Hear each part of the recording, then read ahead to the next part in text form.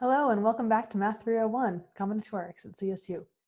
Today we're going to be continuing chapter one, talking about factorials. So last time we talked about triangular numbers, which were the sum of the numbers from one up to some number n, and factorials are the product of the numbers from one up to n.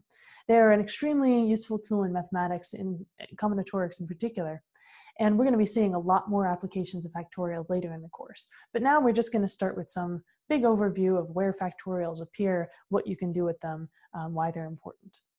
So one big place they come up is in arranging things in order. For instance, how many ways can we rearrange the letters in the word cat? So some people would call this forming an anagram of the letters in cat. Well, let's start by figuring out what the first letter might be. Well, there's three ways of choosing the first letter. You can either start with C, A, or T. Once you choose that letter, though, there's more possibilities for what can come after it. After C, you can either follow up with A or T. That's two possibilities there. After A, you can either follow up with C or T. And after T, you can follow up with either um, C or A. So there's actually two possibilities for each first letter as to what the second letter is going to be. And then from there, there's only one possibility left with the last letter because there's only one letter left. So we just fill in after CA, you have to put T, that's cat, but then you can get CTA or ACT or ATC or TCA or TAC. And those are all the ways of rearranging the letters C, A, and T in order, and we see that there are six of them if you just count them. But of course, in combinatorics, we don't want to just count things directly. We want fast ways of computing these things. And the fast way in this case is to say, well, there's three possibilities for the first letter. And then there's three, poss- three times two possibilities for the first two letters. And finally, three times two times one to in order to put all the letters down in some order. And 3 times 2 times 1 is 6. That's an example of a factorial. It's the product of all the numbers from 1 to 3. And this saves us a lot of work when the numbers start getting bigger. For instance, say we want to rearrange all the letters in a four-letter word, like math. So there are now four letters so there's four ways of choosing the first letter. And then after that, there's three possibilities for each starting letter as to what the second letter is going to be because there are three letters remaining. M can go with A, T, or H. And then there are two possibilities for each of those letters after that. For the third letter, MAT or MAH, MTA or MTH, and so on. And finally, then one possibility for how to put the last letter down. And so altogether, there are four times three times two times one or 24 possible ways of rearranging the letters in the word math. So that saves us a lot of work, and it's so important that we make its own symbol for a factorial. So we define n factorial, written n with an exclamation point. We pronounce that n factorial to be the product of the numbers from n down to 1. So the theorem is that there are n factorial ways to arrange n things in order. An example is computing 4 factorial is the product of the numbers 4 times 3 times 2 times 1, and that's 24 like we saw above. So, um, the, so in general, the number of ways of rearranging n things is n factorial. Now there's lots of different applications of this formula. Um, you can solve variants of this problem such as, say we only wanted to take two letters from math and make a two letter word like MA or AT or HA. Um, well, there's four ways of choosing the first letter and three ways of choosing the second letter, so there's just 12 ways in that case. In general, we can answer this question in general. How many ways can we make a little k letter word from formed from choosing k distinct letters chosen from n letters? So in the math case, we had four letters and we chose two. Now we have n, we're choosing k.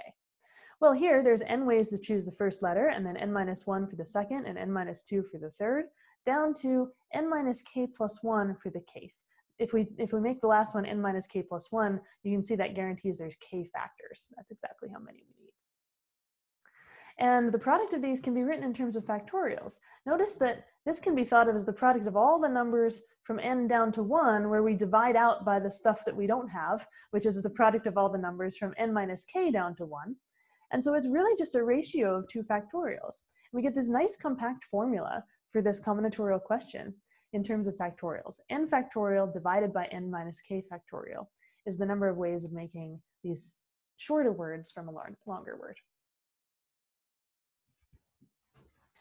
And this leads us to one of the most important formulas in mathematics. And again, we'll see binomial coefficients a lot more down the road in this course. But just as a quick introduction, we write the symbol n above a k with parentheses to mean n choose k. That's how we pronounce it. And it's defined to be the number of ways to choose k things from n things, not necessarily in order, not making a word out of it, just pick k things out of n things. For instance, what if we wanted to say how many ways can we choose two of the letters of math to color red? I'm going to color A and T red, or maybe I'll color A and H red. Well, now it doesn't matter the order in which we chose them. And, um, and so it's a little bit different of a problem than we solved before. So just to note, in this case, how would we write this as a binomial coefficient problem? Well, it's 4 choose 2, because we're choosing two of the letters out of four of the letters. And the question is, how do we compute 4 choose 2? Let's go back to that chart with math that we had before. It's tempting to say that it's the number of uh, possibilities in the second column here, because that's two of the letters, but notice they're ordered. So I, I counted some things twice. You know, I don't want to put them in order. I just want to say, how can I pick an A and an M? Well, I had MA and AM both in this sequence. So really the set of letters M and A, the pair that I'm going to color red, is counted twice. In fact, every pair is counted exactly twice. So I have 4 times 3 things in this column, that's 12. I divide 12 by 2 to get 6 possibilities for just how many ways can we choose two of the letters with no particular order. And so this trick of dividing to get six in this case um, for four choose two can be generalized to give the formula for a general n choose k symbol. So the theorem is this n choose k, the number of ways of choosing k things from n things, is n factorial divided by k factorial times n minus k factorial. And the reasoning is the same as above. There's n factorial divided by n minus k factorial ways to choose k things and put them in order to make a word. But then each of those collections that we're trying to count of k things is counted k factorial times. We don't want to count the order. We've overcounted them by a factor of k factorial. And what that means is we can take this formula we already had, n factorial divided by n minus k factorial, and divide it by k factorial, just like we divided by 2 in the math case, because 2 is 2 factorial. That's where that's coming from. And so we can now, when we divide, just put everything in the denominator that we're dividing by, and we get this formula n factorial over k factorial n minus k factorial. Let's use this in an example. Five people walk into the room. Everybody shakes hands with everyone else. How many handshakes occurred? If you watch the previous video, this might sound familiar. We solved it using the triangular numbers formula before, using Gauss's formula. And now we're going to solve it using binomial coefficients, which are these choose formulas that we just came up with. So in this case, we have five people and we want to choose two of them to shake hands. The number of ways of choosing two people to shake hands is the number of handshakes. So we can write this problem as five choose two. And now let's remember our formula. n choose k is n factorial divided by k factorial times n minus k factorial. And we're plugging in n equals 5 and k equals 2 into this formula. So we get 5 factorial divided by 2 factorial, and then 5 minus 2 is 3, so we get 3 factorial. Now let's talk a little bit about how we simplify things like this, because it's tempting to just calculate 5 factorial, calculate 2 factorial, calculate 3 factorial, and divide. Um, but you can often divide before you multiply, and that saves you a lot of work. For instance, here, if we write out these factorials, notice the, the 3 times 2 times 1 cancels with the 3 times 2 times 1 above it. So we have a lot less multiplication to do in the end. And the 2 even cancels with the 4 and gives you a 2 upstairs. And so we get 5 times 2 and that's 10. And that's the answer to the handshake problem that we got last time using the triangular numbers. It's just a different method of computing it. So you see how useful this binomial coefficient formula is. We can choose two things or three things. It generalizes this handshake problem in a way we didn't have before. Here's another fun example. Say you're playing the game Mafia, and say 11 people are playing it. One's the narrator, and to start the game, he has to choose four of the 10 other people to be the Mafia. So how many ways can you choose which four of the 10 people are mafia?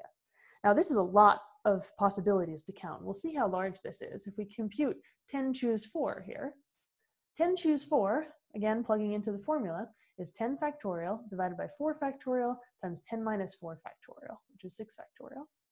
And again, let's cancel before we multiply. Let's write this out as 10 times 9 times 8 times 7 times 6 times 5 times 3 times 4 times 2 times 1.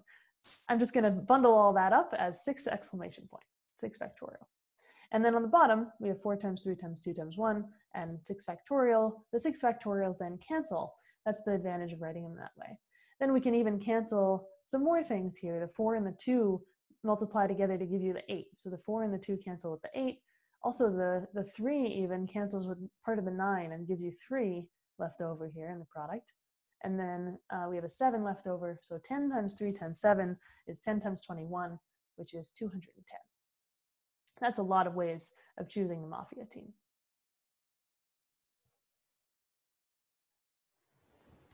And now it's your turn. So your problem for the day, along with some other quiz questions in the quiz, is in a classroom of 20 students, how many ways can you pick a pair of them to present the next day? So we have presentations in this class, and this is a good fun question for you to try. So that's a little summary of where factorials and binomial coefficients come up in combinatorics. We're going to see a lot more of these in the future classes. And for now, we'll see you next time.